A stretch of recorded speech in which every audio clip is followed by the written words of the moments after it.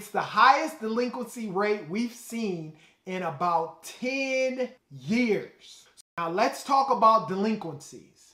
A delinquency is when you're behind on your payments, maybe 30 days late, 60 days late or more. The delinquency rate stayed steady at 2.93%. This might sound stable, but here is the kicker. It's the highest delinquency rate we've seen in about 10 years. So while things aren't getting worse right now, they're definitely not getting better either.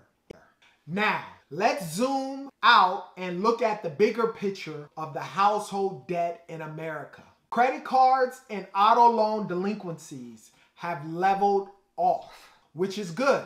But student loans, that's a whole different story. Student loan delinquencies have absolutely exploded, jumping from less than 1% at the end of 2024 to about 13% in the second quarter of 2025.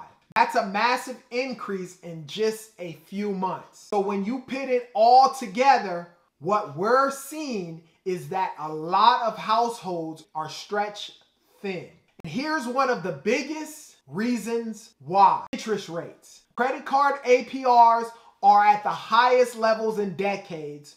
We're talking 20% or higher for many people. That means if you're carrying a balance, you're paying way more in interest than you ever have before. Combine that with record high household debt, and you can see why so many people are struggling to keep up. Even if you're making your minimum payments, it feels like you're not making a dent in your balance.